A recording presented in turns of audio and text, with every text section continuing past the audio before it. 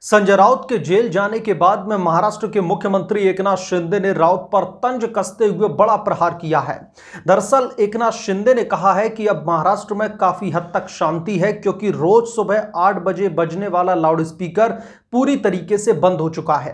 आपको बता दें कि एकनाथ शिंदे ने यह बात राउत के बड़बोले बयानों को लेकर के कही है। संजय राउत रोज सुबह उठकर के ऐसे बयान दे देते थे कि महाराष्ट्र के राजनीतिक गलियारों का पारा गर्म हो जाता था, लेकिन संजय राउत की गिरफ्तारी के बाद में महाराष्ट्र में शांति है। एकनाथ शिंदे ने कार्यकर्ताओं को संबोधित करते हुए कहा कि क्या अब आप लोगों को सुबह सुबह लाउडस्पीकर की आवाज़ सुनाई देती है? नहीं सुनाई देती, क्योंकि अब वो पूरी तरीके से बंद हो चुका है। ठप पड़ा है। वहीं दूसरी तरफ़ उद्धव ठाकरे और शिवसेना भारतीय जनता पार्टी को घिरने में लगे हुए हैं। संजय राउत की गिरफ्तारी को लेकर के राउत के खिलाफ में इन्फोर्समेंट डायरेक्टोरेट की कार्रवाई के विरोध में शिवसेना नेताओं और कार्यकर्ताओं ने महाराष्ट्र के कई इलाकों में जोरदार विरोध प्रदर्शन किया।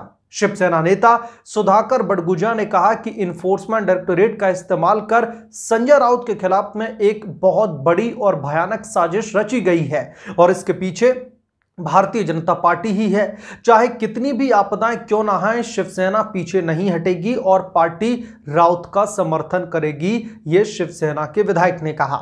शिवसेना प्रमुख उद्धव ठाकरे ने संजय राउत की गिरफ्तारी को लेकर के भारतीय जनता पार्टी पर निशाना साधा और कहा कि उन्हें, उन पर गर्व है क्योंकि वो किसी के दबाव में आगे नहीं झुके।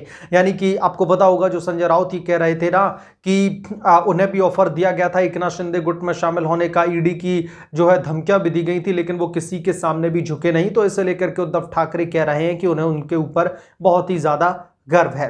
तो कुल मिलाकर के अब संजय राउत के खिलाफ में एकनाथ शिंदे गुट जो है तंज कसता हुआ दिखाई दे रहा है। दरअसल संजय राउत को लेकर के वो कह रहे हैं कि अब महाराष्ट्र में जो सुबह सुबह लाउड स्पीकर बजता था, जो भोंपू बजता था, वो पूरी तरीके से बंद हो गया है।